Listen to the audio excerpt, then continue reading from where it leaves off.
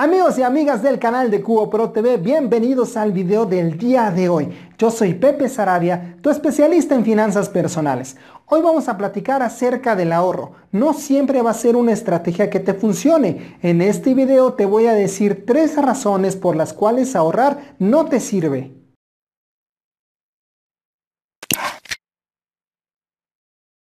El ahorro es sin lugar a dudas un tema fundamental dentro de las finanzas personales, pero muchas veces creemos que estamos ahorrando, pero en realidad no lo estamos haciendo. Si no entendemos correctamente qué es lo que hacemos con nuestro dinero, así según nosotros ahorremos mucho, en realidad no nos va a funcionar para nada.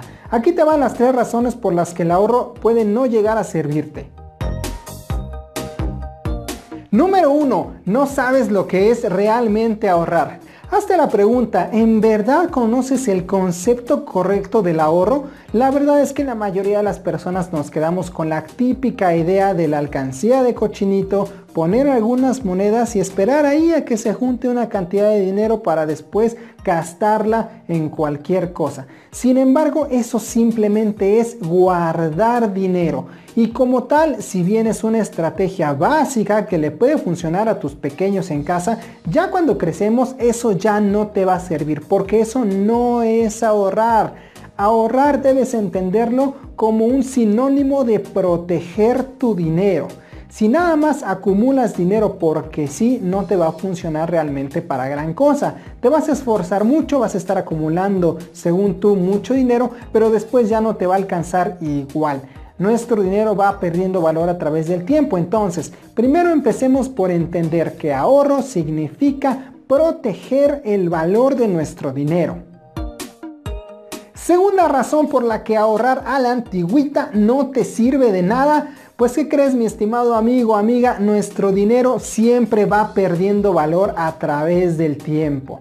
Y no me vas a dejar mentir, sobre todo si eres ama de casa, te das cuenta claramente cómo el dinero cada vez alcanza para menos cosas. Esto se da por un fenómeno económico llamado inflación que seguramente has escuchado en las noticias o en los periódicos. Ese indicador se utiliza normalmente como referencia para los aumentos salariales y también para el aumento en el costo de productos y servicios. En pocas palabras, nuestra vida cada vez se va volviendo más cara. Entonces, si tú ahorras a la antigüita con el cochinito y nada más pones ahí monedas y billetes, ese billetito que guardes hoy no te va a casar para lo mismo dentro de cuatro o cinco meses, dentro de uno o dos años.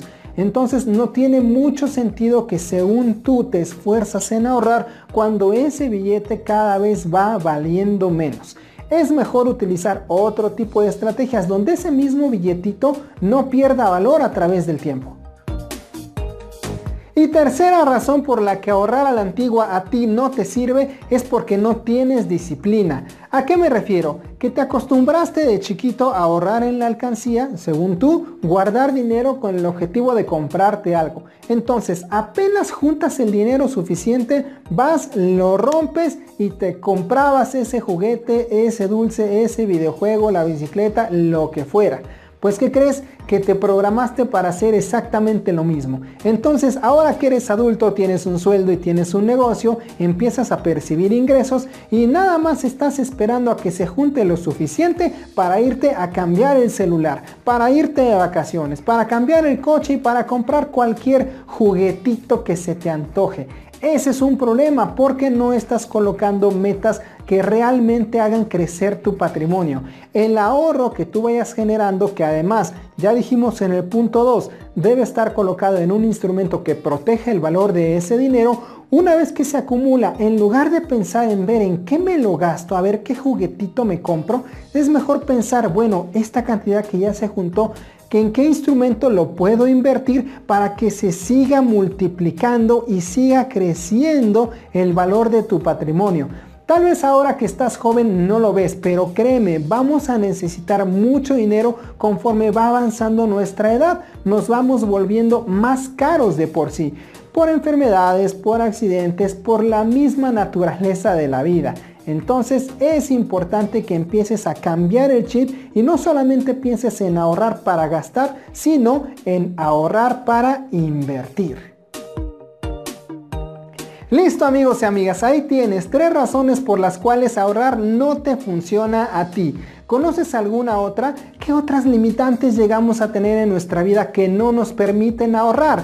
Déjamelo saber abajo en la caja de comentarios. Y recuerda que también puedes descargar mi guía gratuita para comenzar a invertir. Además, por supuesto, te recomiendo visitar este video donde explico una estrategia muy eficiente para el ahorro y recuerda suscribirte al canal porque tenemos videos constantemente acerca de estos temas. Nos vemos en el próximo video.